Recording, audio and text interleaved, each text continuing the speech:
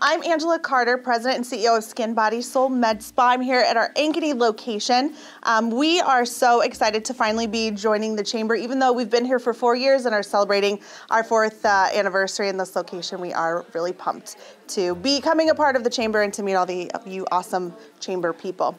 Um, we we're full service med spa. So what we do is skincare, laser hair removal. Um, we have nurse injectors. We do Botox, filler, body sculpting. Um, we believe in limitless beauty for all, and that at Skin Body Soul, these types of treatments should be accessible for everyone. We want you to define your own, uh, what beauty means to you and help you find your fierce forever. So that's our hashtag is fierce forever.